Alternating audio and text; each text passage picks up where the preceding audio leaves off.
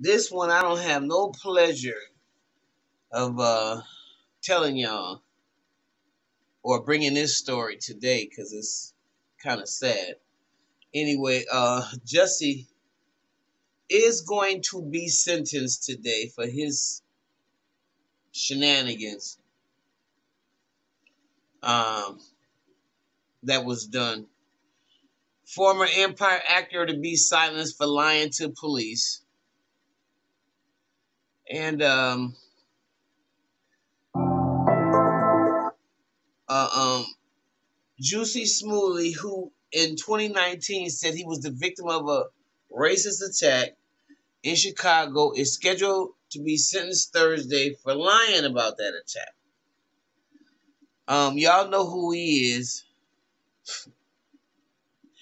He was acquitted on the sixth count of lying to a detective, but um, who was um, he was found guilty on five counts of disorderly conduct uh, for lying to the police. But there's a sixth charge that um, lying to the detective he wasn't.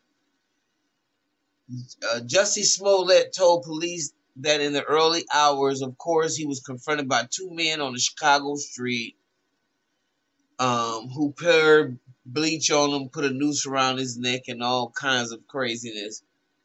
Um, Chicago investigated the case but said they had determined that the actor had orchestrated the alleged attack and paid two brothers he knew from Empire to stage the incident to raise his public standing.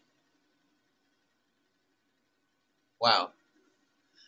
Um, disorderly If you're thinking about anything, is, are you're um, thinking about home goods. you know, it's where is this? Even if you don't Damn. think you're thinking about home goods, it's that's it's home goods. it's um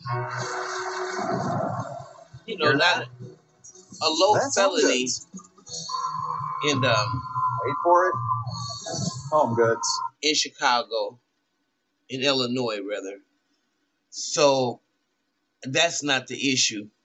It's not. I'm and he got four counts. I think he and like I said, one count was totally dismissed. But or however, the embarrassment of this is not gonna go away. And I don't know, it's gonna be a while before somebody wanna mess with him. It says uh he's not repentant and or remorseful at all. Um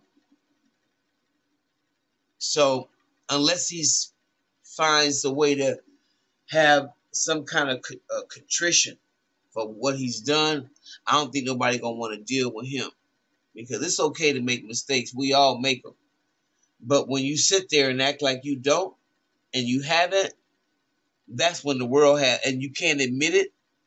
That's when the world pretty much has a problem with you, and so, um, hopefully.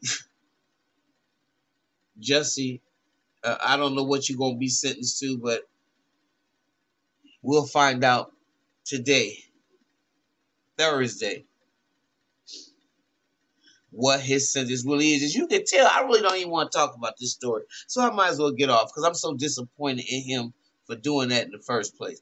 So anyway, if you like what you hear, please like, subscribe, and and, and share the video. And, and and I'll see you in the next one.